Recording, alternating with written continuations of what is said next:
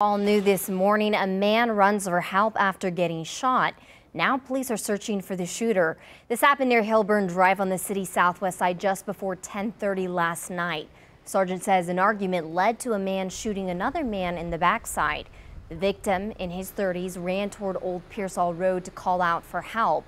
Right now, we're told he's in stable condition. Police are still searching for the shooter. We're now learning